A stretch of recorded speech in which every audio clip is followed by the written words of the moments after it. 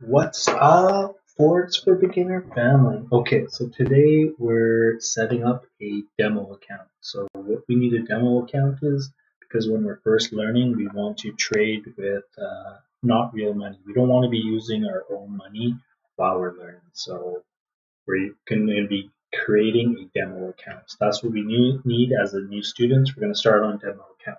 Okay, so you want to come over here to accounts, click on my accounts uh, right here, it shows that we have zero accounts right now. So, so you want to click on create account.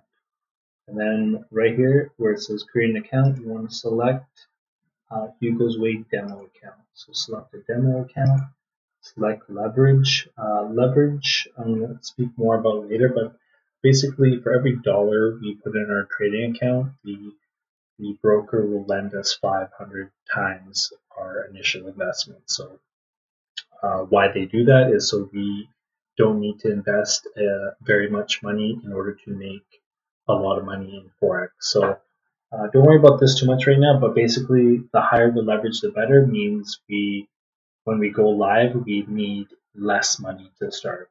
So that's good. So just select the highest leverage, 500, and then for this spot right here is what size of a dollar amount uh, do we want our demo account? I suggest starting with say 500. Uh, you can, when we go live, you can start with say 250, 250 dollars in your account. But for our demo account, we're just gonna pretend like it's a real account. And what we're gonna do is that's why uh, I'm gonna show you later on TradingView is the, the software used to mark up the charts. What we do as traders, we mark up charts and we place a trade, either a buy or a sell, and that all starts with uh, our, our broker account. That's where we place the trade. So, okay, so back to this. We're creating a demo account. So create an account, Hugo's Way demo account. Uh, our leverage is 500 and we want $500 deposited into our demo account. We hit create account. Right below here says your demo account was created. Check your email. So uh, we're going to go to our email. Uh, one second here. Okay. Uh, yeah. Okay, so this is the email that we got from uh, Hugo's Way. Uh, it says that our trading account was created. Uh, I want you to save this information. Either you can save this email in a safe spot or uh, jot this down or copy and paste it into a Word file, uh, whatever you want to do. Uh, you can just keep this email safe. Um, so this is the information we need this is going to be our, our, our demo account number right there, our password for our account, and then this here, investor's password. This is uh, if later, once you're uh, really good at trading, you can actually give this password out to possible uh, possible investors to view your account. So they only have read-only access to your account.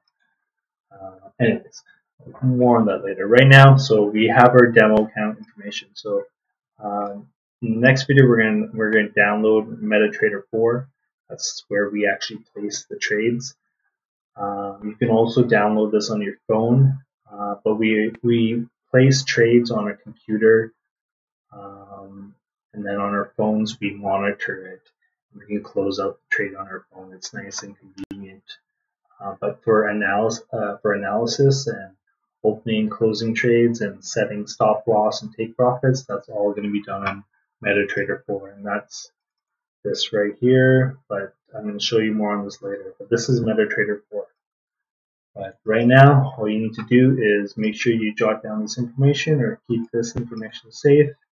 Uh, we now have our demo account created and just click on login. Okay, see you in the next video.